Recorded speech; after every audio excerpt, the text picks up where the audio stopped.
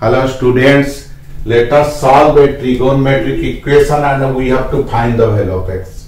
Given cos x plus cos 2x plus cos 3x is equal to 0. So this implies cos 3x plus cos 6 plus cos 2x is equal to 0. So now let us apply the formula cos c plus cos d. This will be cos c plus d by 2 cos c minus d by 2. 2 cos c plus d by 2 cos c minus d by 2.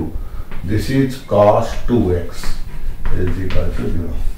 So we have applied cos c plus cos d is equal to 2 cos c plus d by 2 cos c minus d by 2.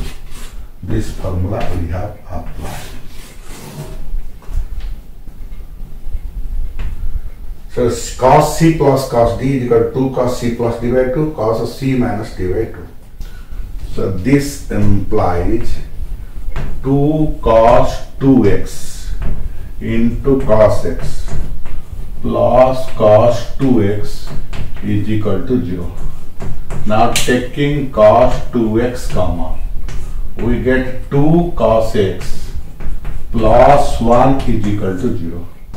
This implies cos 2x is equal to 0, 2 cos x plus 1 is equal to 0.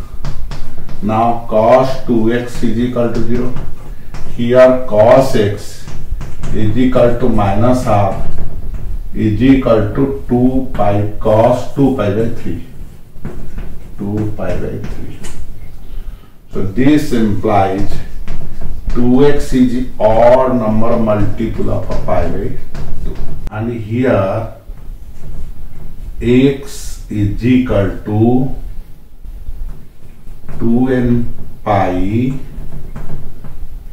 plus minus 2 pi by 3 where n belongs to I, the set of integers x is equal to 2n plus 1 pi by 4, and here x is equal to 2n pi plus minus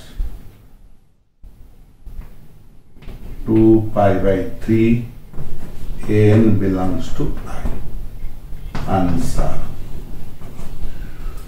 So after solving the trigonometric equation, we get the values of x that is 2n plus 1 pi by 4 and the other one is a 2n pi plus minus 2 pi by 3 where n belongs to set of integers.